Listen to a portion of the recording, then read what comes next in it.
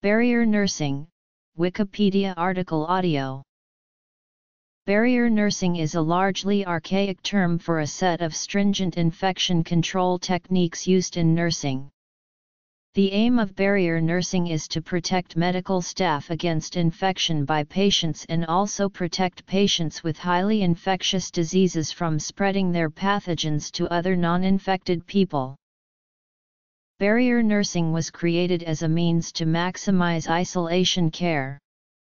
Since it is impossible to isolate a patient from society and medical staff while still providing care, there are often compromises made when it comes to treating infectious patients. Barrier nursing is a method to regulate and minimize the number and severity of compromises being made in isolation care, while also preventing the disease from spreading.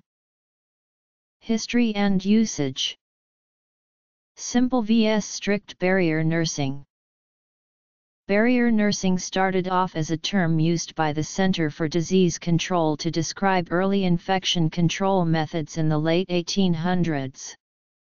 From the mid-1900s to early 2000s, 15 new terms had emerged and were also being used to describe infection control. The variety of terms that described infection care led to a misunderstanding of practice recommendations and eventual low adherence to isolation precautions. This eventually forced the CDC to combine all 15 terms into one term called isolation. Nowadays barrier nursing is becoming a less commonly used term and is not even recognized by most reputable databases or online scientific journals.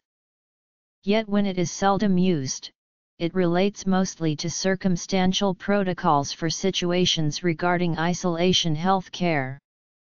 The lack of constant use of the term is why there are no systematically reviewed articles on the topic and also why most of the sources that include the topic are from the late 1900s.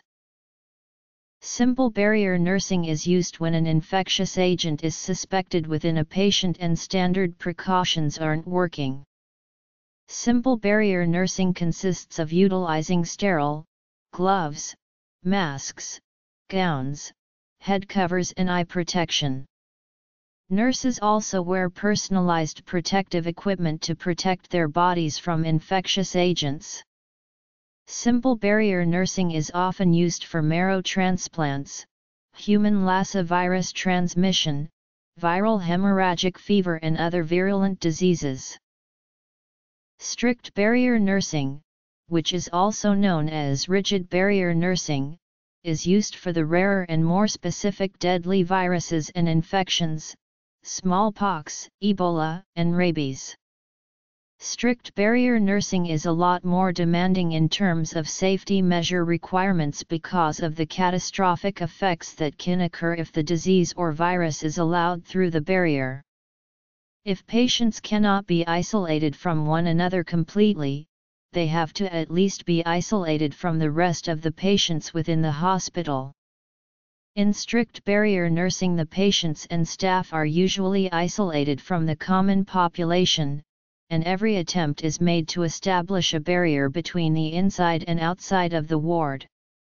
The staff going on duty have to remove all outer clothing, pass through an airlock and put on a new set of PPE. When a staff member is going off duty, they are required to take a thorough shower and leave everything that was taken into the room to be disinfected or destroyed. While strict barrier nursing methods cannot always be enforced, especially in lower income areas and countries, any modifications made must be based on sound principles. Since infection can be spread through fomites, clothes, or oxygen, all efforts must be made to limit the spread of these vessels. The doctor's or nurse's hands must be thoroughly washed after touching anything in the cubicle. Taps and door handles should be elbow or foot operated. Hands should be washed in the cubicle and dried outside to eliminate contamination from paper or cloth towels. In addition, antiseptic hand cream, dispensed from a foot-operated wall container would also serve as an additional precaution. Although participants understood the importance for personalized protective equipment, they still found that its use increased their fear and sense of stigma. Many researchers have indicated that healthcare professionals may regard a patient in source isolation differently from others. In studies regarding barrier nursing of patients with methicillin-resistant Staphylococcus aureus, medical staff admitted to spending less time with patients in source isolation. Simple barrier nursing Strict barrier nursing. Psychiatric effects of barrier nursing. Positive effects. Negative effects. Solutions to negative effects of barrier nursing slash isolation. Placing patients in barrier nursing rooms may expose them to less medical care or access to associated treatment.